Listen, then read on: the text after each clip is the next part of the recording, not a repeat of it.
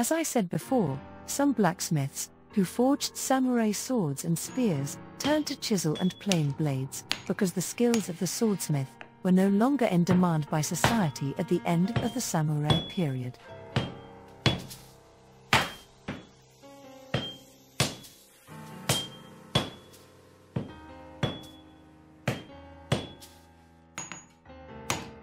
So today I'm gonna show you how to use some carving chisel, carving knife, and smoothing planes.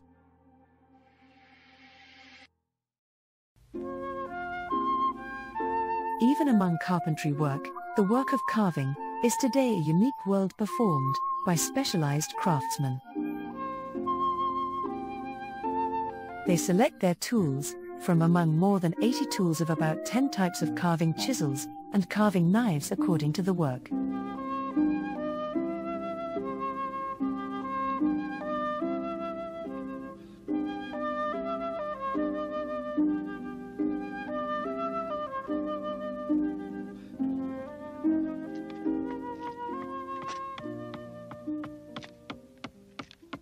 This is a V chisel, called Tataki Nomi.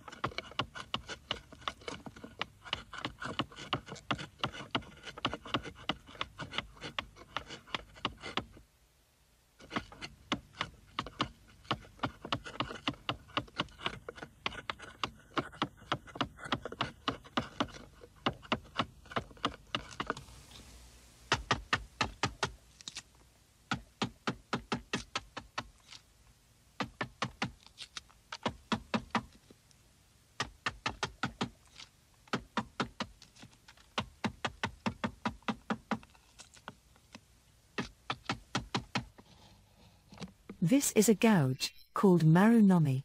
It's a chisel used for carving curved surfaces.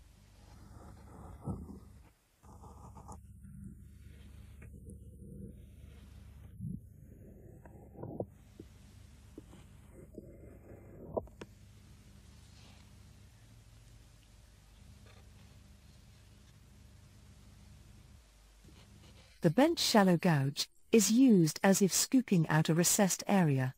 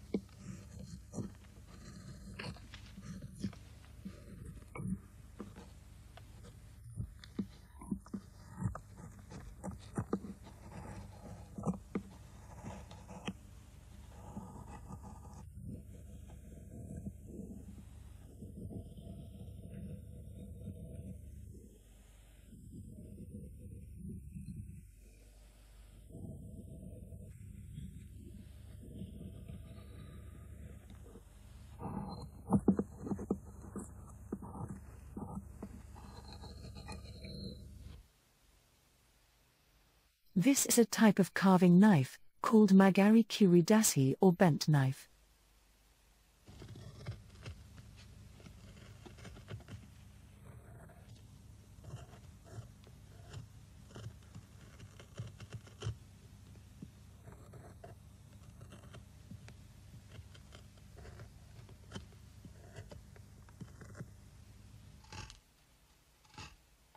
Carving knives are used by gripping the handle with one hand and always using it together with the thumb or index finger of the other hand.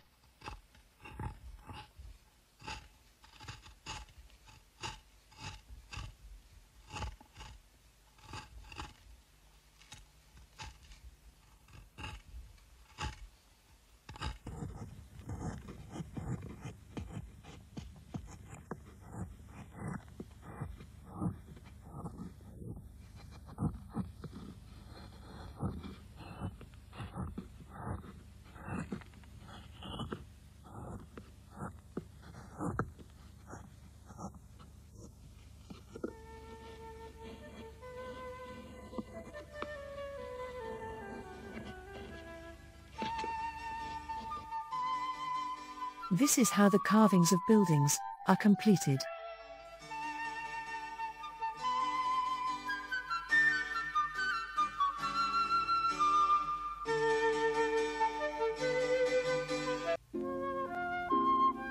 Planes are known to have the most variety of all carpenter's tools. The planes you see here, with the same shape are all smoothing planes, but the way you use each is different. If we take a look at just the roughing plane, intermediate smoothing plane and polishing plane. Each one has a different amount of blade protrusion and mouth opening.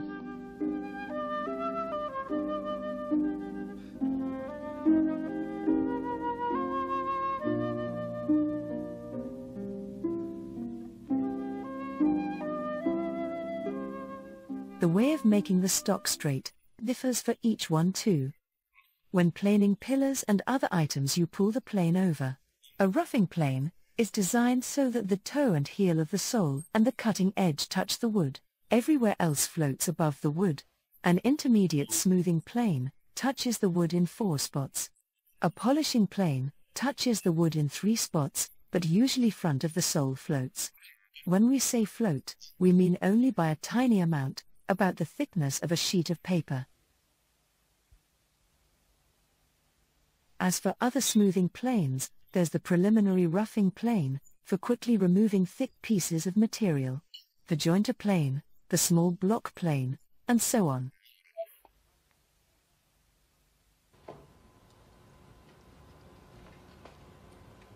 Before you begin, you look for warpage in the wood.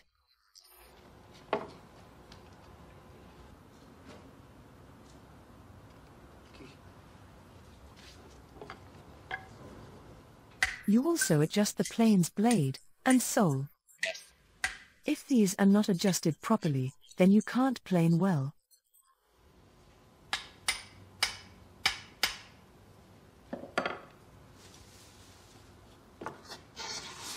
When planing, first you remove the warpage at the ends of the wood.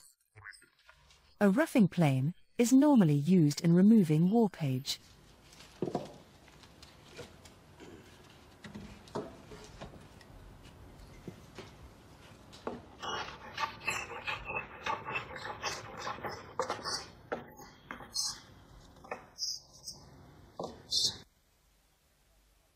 A preliminary roughing plane, or scrub plane, is used to quickly remove thick pieces of material.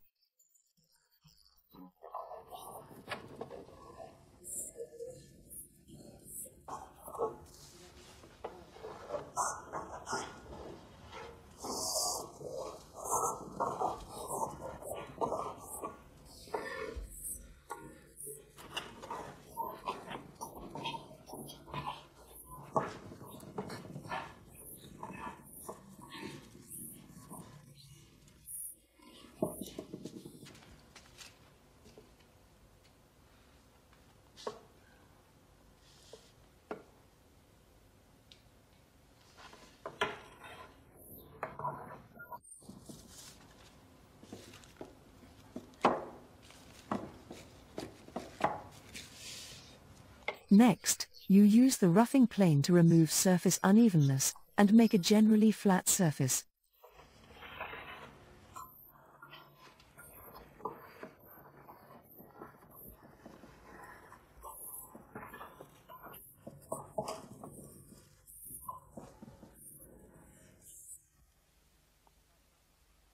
The intermediate smoothing plane removes interlocked grains and any cutting non-uniformity generated by the roughing process.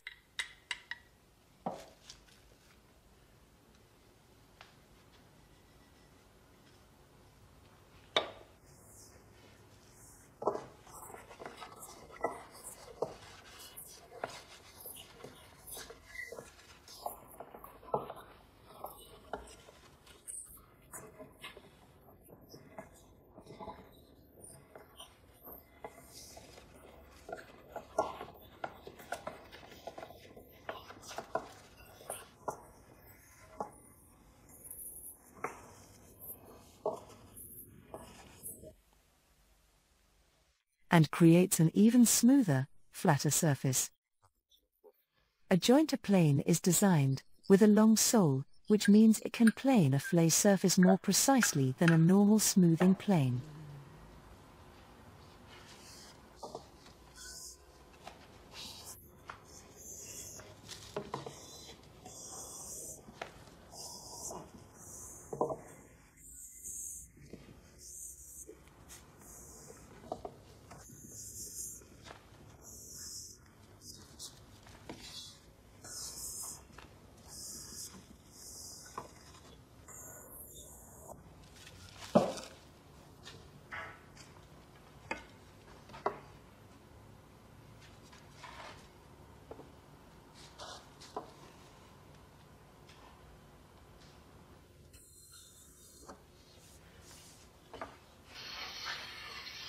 A polishing plane is used on the jagged grooves of lintels.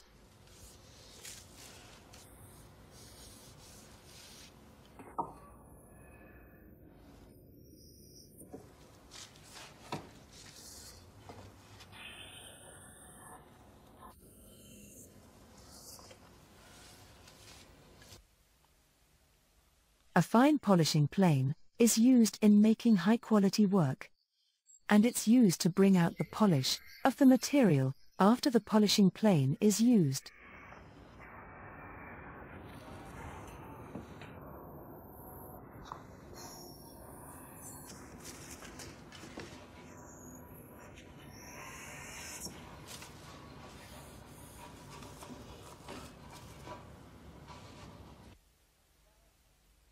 A small block plane is a kind of smoothing plane.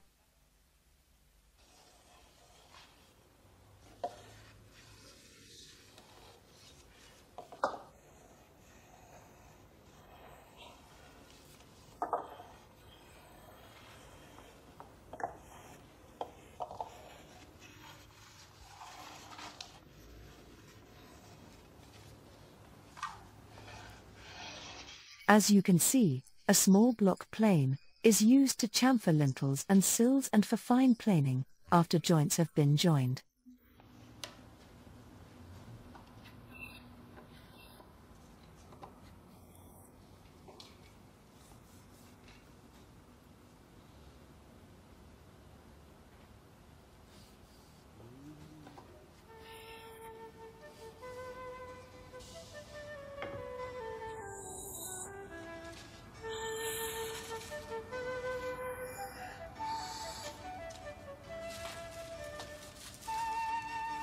Planing is said to be an especially difficult part of carpentry.